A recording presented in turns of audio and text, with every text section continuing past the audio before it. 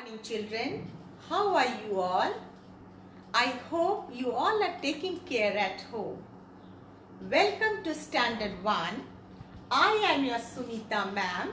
Today we are going to learn the use of A and An.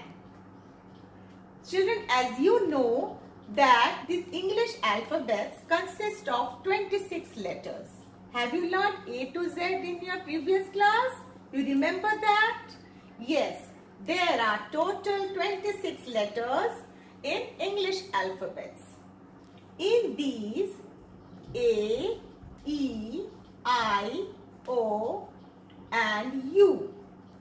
They are called vowels. There are five vowels in English alphabets and the rest are consonants. In vowels, we use A and An and in consonants we use A.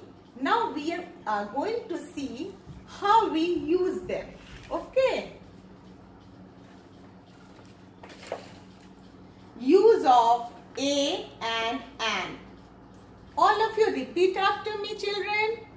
A tiger, a book, a cat, a dog, a box, a kite, a lamp, a bell, a pen, a duck, a train, a clock.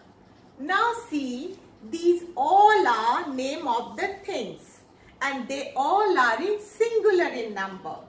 So when there is one object, you know what is singular in number? Yes, one and many. You have learnt in your previous class. So when there is one word and see all of you, the letter consonant is there before every word. So when there is a consonant letter, we use A for this. Did you understand children?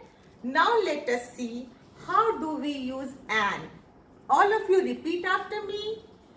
An apple, an egg, an orange, an ink pot, an elephant, an insect, an umbrella, an owl, an eagle, an igloo, an aeroplane, and octopus. Now see, all these are name of the things.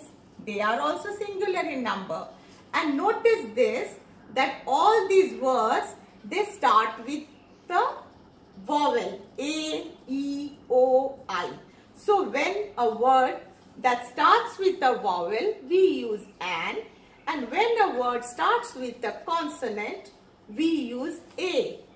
I hope you, all of you have understood this and it will be helpful for you to do your assignment.